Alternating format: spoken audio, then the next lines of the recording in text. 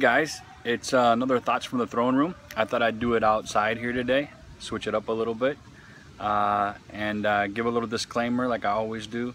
Um, Thoughts from the Throne Room is intended to be uh, a window into my relationship with God. Um, it's not intended to be uh, a discussion of doctrine per se or theology per se.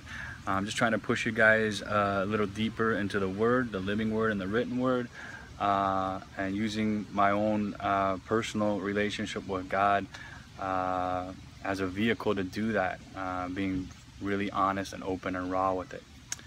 So, so let's get into it.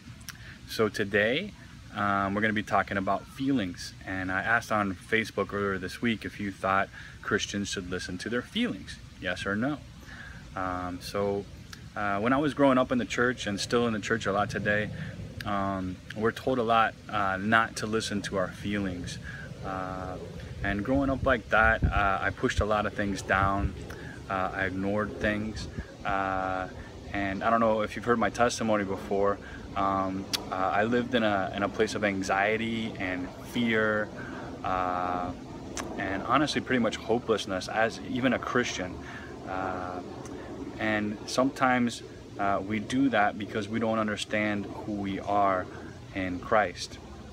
So, uh, anyway, uh, I just thought that's how uh, people lived. I didn't even realize that I was in anxiety, even though it was crazy.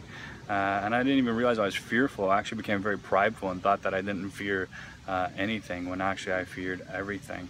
Um, but if I had paid attention to those things a little more and understood where they were coming from, uh, I think I might have uh, been able to uh, live out of a different place earlier uh, or sooner. So that's kind of what I wanted to talk about today. So I think Christians should listen to their feelings, and, and here's why I think that. Um, feelings tell us uh, what nature we're living out of. So uh, when we talk, for example, about fear, we know that in perfect love there is no fear we also know that God is love. Um, so the way I look at feelings is that feelings show us where we're living, what nature we're living out of, whether we're living out of the sinful nature, the carnal nature, or we're living out of the uh, the nature of the spirit, the redeemed nature, new man. Um, for example, you know, um, Jesus tells the disciples that he's going to give them peace beyond understanding, that he's going to give them peace not like the world gives. And I don't know about you, but for me, peace is a feeling. Uh, pretty much it's the opposite of anxiety and fear. Um, joy is a feeling. Um, so the feelings that we have uh, are kind of the seed uh, that when full grown leads to the fruit of who we are. Um, Galatians talks about this. It's Galatians 5, uh, 19 through 25. I'll throw it up there for you. It talks about the deeds of, uh, uh, you know, the sinful nature, the deeds of the flesh, and the fruit of the Spirit. It talks about how there's uh, no law against the fruit of the Spirit, but we have to have law uh, against the deeds of the flesh. We all know that.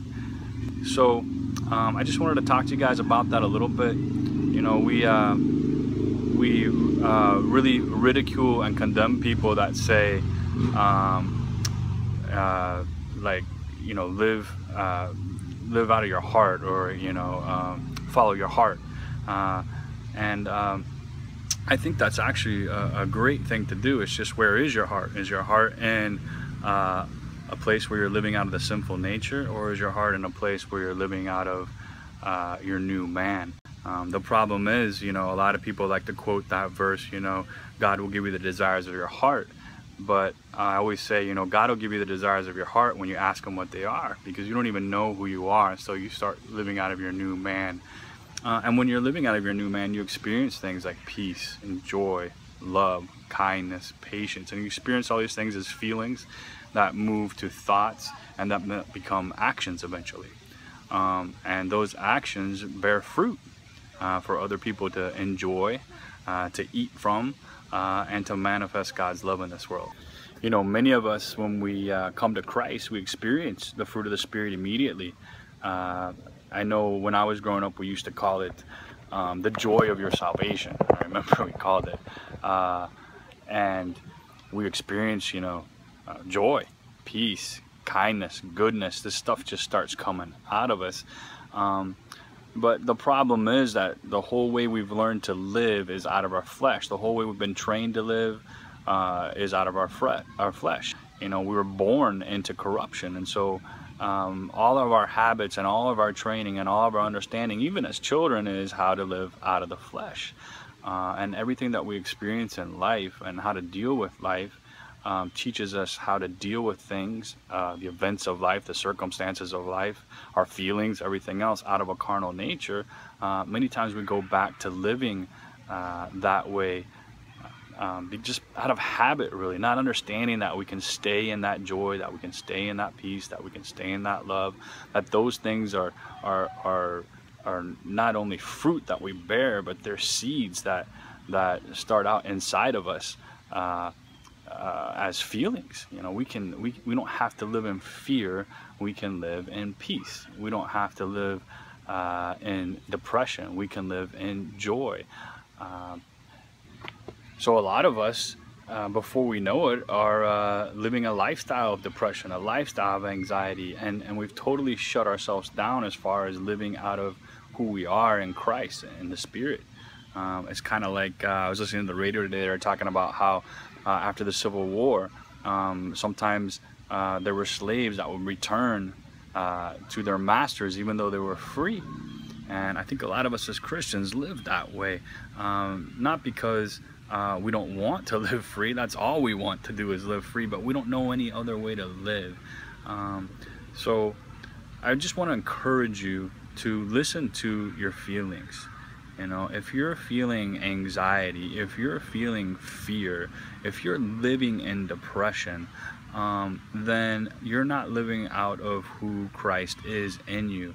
Um, Holy Spirit uh, is not fearful. Holy Spirit does not have anxiety, and Holy Spirit is not depressed.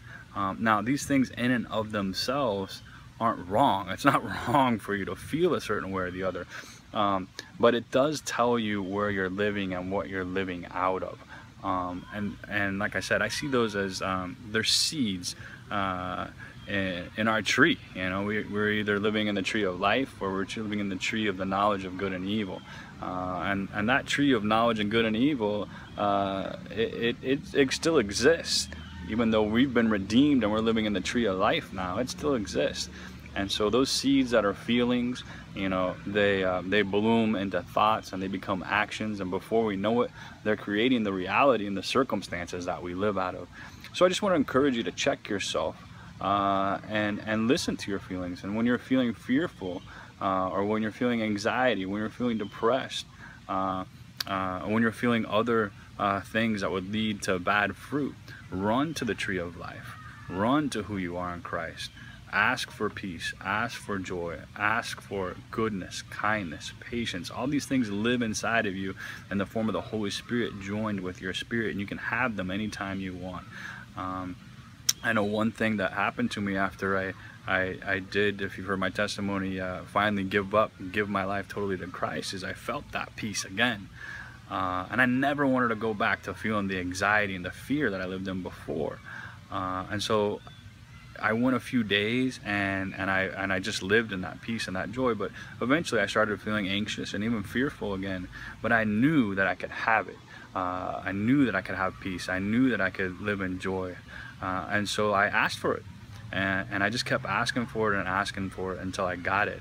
Uh, and and it wasn't that it was outside of me; it's where I was going. I was going back to my old uh, habits and ways of dealing with life uh, without even really realizing it. It's a thought process. It's a mindset, you know.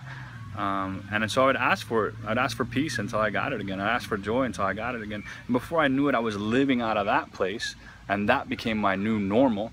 Uh, instead of living out of a place of fear and anxiety. So I'd encourage you to listen to your heart.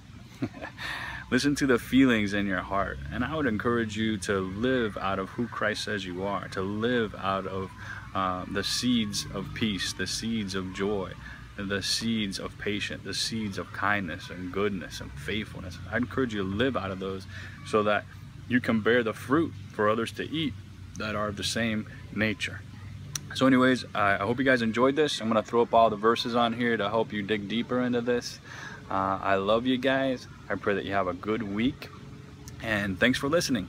And if you guys have any questions or you want me to uh, uh, speak on a certain topic, I know someone asked me today to speak about marriage, and I'm going to be doing that. I just want to make sure that I, I really uh, uh, research the thing that God has been talking to me about that really well because I know those are really important topics. Uh, and God's been doing a lot in my marriage. And so uh, uh, I might have my wife come on if she wants to and talk about that too but I will be doing probably a series on, on marriage as well. But if you guys have other topics you want me to talk about, that would be really cool. Uh, questions, post them. I know you guys do. And just thanks for listening. Have a great week. I love you guys. Remember that Jesus loves you and you can live out of who he is in you, through you, for you, to others. Have a great week. Bye.